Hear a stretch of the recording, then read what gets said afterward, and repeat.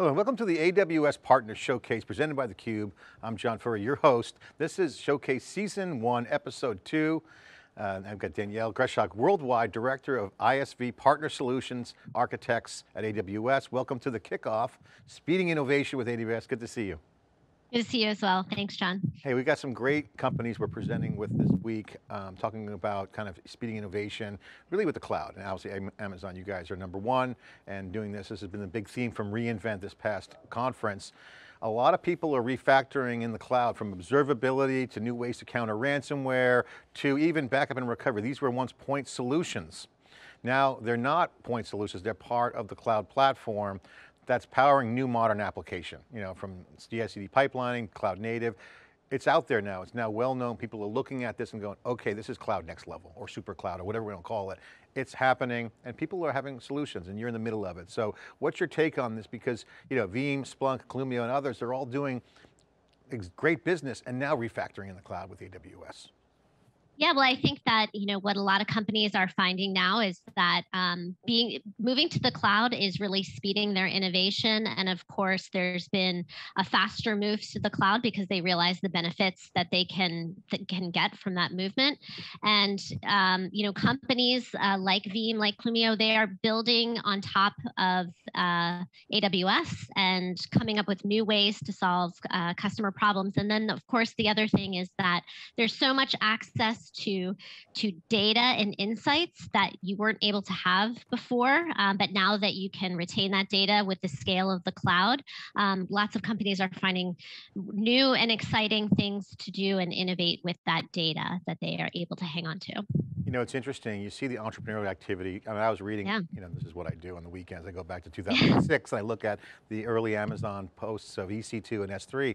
And that was a real great startup uh, movement and that changed the game. Now, even today, the startups are out there. Look at Clumio, right? Poojan mm -hmm. over there, he's been doing great stuff. He came from Nutanix, a hyperscaler. Now he's got a startup that's growing like, like a weed out there and, and Amazon's powering that. You got Cohesity, they're going, they're almost going to go public, I believe. They've announced that. Yep. They're about to go public. So they're going to be a, a public company company, others.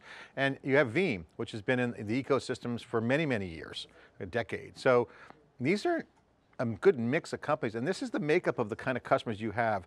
What's the thing that they have in common? Why should people pay attention to this, the, these, these companies and the relationship with Amazon Web Services? Yeah, I mean, I think the thing that these companies really have in common is uh, thinking about the cloud as this new paradigm that they are building for. Um, you know, if I think about Veeam, um, you know, we have really amped up a lot of our both are building and co-selling with Veeam, and they're having a lot of success um, with small companies, medium companies, big companies as well, just with their product. And so um, that is what I think is the difference: is they are looking at it as an opportunity to innovate with their product and take advantage to what the what the opportunities the cloud provides there. What are you guys seeing as, as solution architects in your customer base? Look at AWS from a, from a um, partnership standpoint. It used to be you get into the marketplace, yeah. you have some programs, okay, all mm -hmm. good. You guys have shifted that. Can you give us an update on what you guys are doing with respect to offering new kinds of value as your customers change and grow? Yeah, I mean, definitely we've seen a lot of success uh, with our SaaS Factory program that is looking to, you know, help companies make the transformation to SaaS. Also, our workload migration program, helping um, ISVs to move uh, even faster their on-premises business into AWS for sure.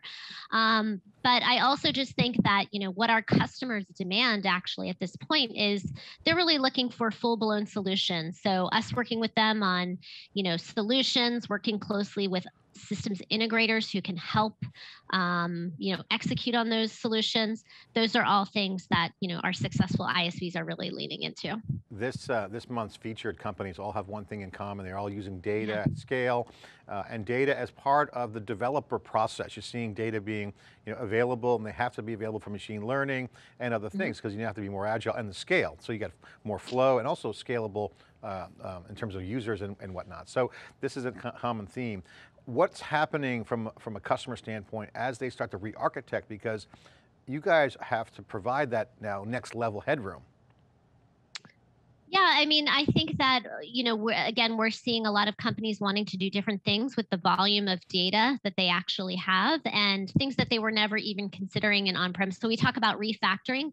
It's not simply a lift and shift. They're looking to get some technology benefit out of the move, right? So just kind of having a net net from on-prem into the cloud is not going to be um, good enough. And so we're looking to add that value when they go and make that investment you know, we've been always writing about them covering Snowflake as an example, bring them yeah. up. You know, you have Redshift, but it's also, you know, competing, I guess, with Redshift, but they're our partner, they're growing. They built on AWS and became valuable because they did it differently in the cloud. We're using that, and there's many other examples like that. Their companies are coming mm -hmm. in and building and taking advantage of the gift called scale, CapEx gift from AWS. And also you got silicon coming, so more and more goodness on the Amazon side, enabling the partners. So I have to ask you, and that's all kind of documenting happening in real time, but the, what it's teasing out is that the integrations are changing, right? So you're seeing a lot more tightly coupled engineering or solutions with AWS mm -hmm. and your top partners. Can you share uh, insight into what that looks like and how, how you guys think about that? Yeah, I mean, and definitely a lot of our top partnerships really do start with uh, integrations. Uh, that's where we're able to, you know, uh, find the value that differentiated solution on AWS. So, you know, S Snowflake, as an example, just talked uh, about how their uh, integration with Private Link and some of their serverless integrations were really the cornerstones of the new partnership that they've built with us. And same thing with other uh, ISVs. They've really looked looked at um, the integrations to be core, the val- building the value uh, with AWS, um, with our services, and for our AWS customers. So um, whatever it of course these are very bespoke you know what's going to be important to a data company isn't going to be the same thing that's important to um, a storage based company but um, still being able to bring the full value of the innovation that aws makes and have that better together story is really where we find a lot of uh, value there and you're in the middle of it too you have your uh, yes. uh, you have the keys to the kingdom solution architects are all mm -hmm. where the action is right now everyone's looking okay i got to I got to build on what I got, and also, you know, I got to build the architecture in real time and build on top. It's not, it's not a tear down. It's a, it's a continuation of what they. Yeah, and and even our most mature uh, solutions and partnerships, those that are full SaaS solutions, they still those the companies that are innovating uh, and continuing to you know bring new features to market are the ones that uh, we we end up you know finding to have the most success with. And that is really what my team does is yeah. you know building those integrations and new solutions on aws it is our core you know reason we exist and you know what, what we uh, feel is the cornerstone to, to great partnerships. You know dave vellante and i and our team we're always commenting about how the cloud scale is a real benefit to anyone anyone, whether it's leveling up talent, bias, and you know, women in tech is coming up, got International Women's Day coming up around the corner, yeah. and that's happening. So it's all good, right? So whether you're a startup or a big company, if you get that one feature right in the cloud, you can really change your business. And I think this always used to be elusive for the product marketing teams of the old way things were built. You know, you got to test it out and put it out there. You know, now you got real-time information, and for companies that are in the, that are ISVs out there, they really can be nimble. Well, and that's the thing too, is we try very hard to make sure our ISVs um, have access to customers, our customers, and that's how they can, you know, figure out like what is the right thing to build um, for them. So. Yeah whether you're big or small, uh, the cloud's great. So I got to ask you, what's the season one of the AWS Partner Showcase? We're proud to present that with you guys. It's been a great uh, partnership. We love getting the stories out there. Episode two is about this theme about, you got a little data here, you got backup and recovery, you got ransomware, you know, old point solutions. We've got great conversations. Why should people pay attention to this episode in your opinion? What's the big aha going on here in this episode?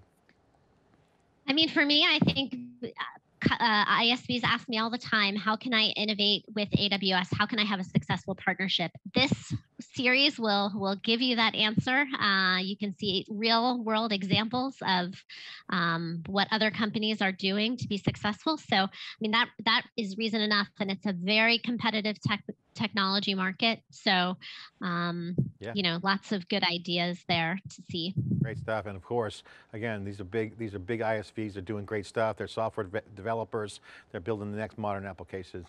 Danielle, thanks for coming yeah. on. You're the worldwide director of the ISV Partner Solution Architects at AWS. You're in the middle of all the great action. Must be fun, isn't it? It's a lot of fun. It's, it, I couldn't ask for a better job. All right, well, thanks for coming on this keynote kickoff, appreciate it. I'm John Furrier with theCUBE. You're watching and, and we get the whole series coming up, but this is the AWS Partner Showcase presented by theCUBE Showcase Season 1, Episode 2. Enjoy the great presentations, thanks for watching.